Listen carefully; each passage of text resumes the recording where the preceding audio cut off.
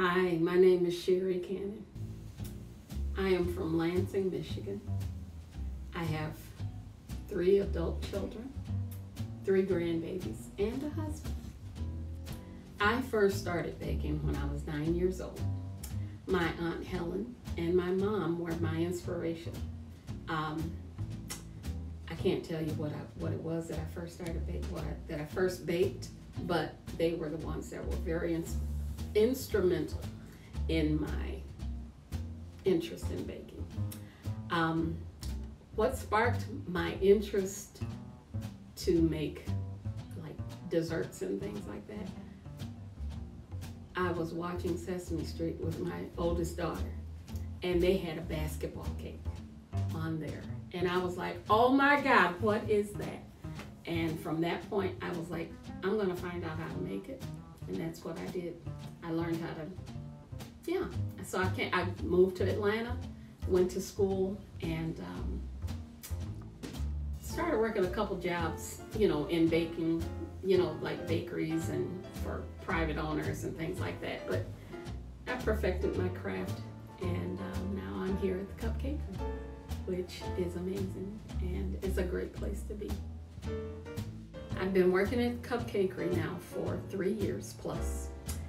What, how I first started at Kupcakerie, my mom had passed and I had quit my farmer job. So my neighbor was telling me, she said, Sherri, go check this place out. It was close to home.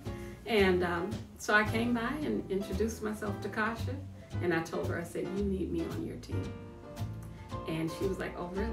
So she set up an interview. And so now I am one of the lead bakers. And I run the bake at Kupcakerie. And my next position with Kupcakerie will be franchise owner at the second location, which is the bomb. Mm-hmm. Yes, and I'm so excited about that. I can't wait. I can't wait.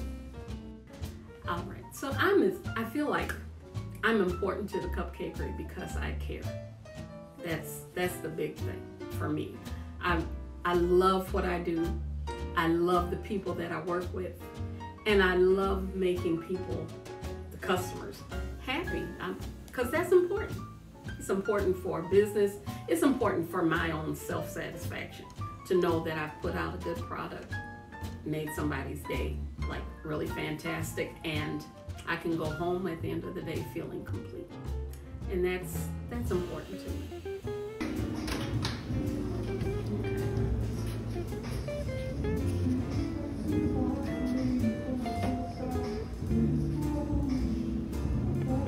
That is so good. That is so good.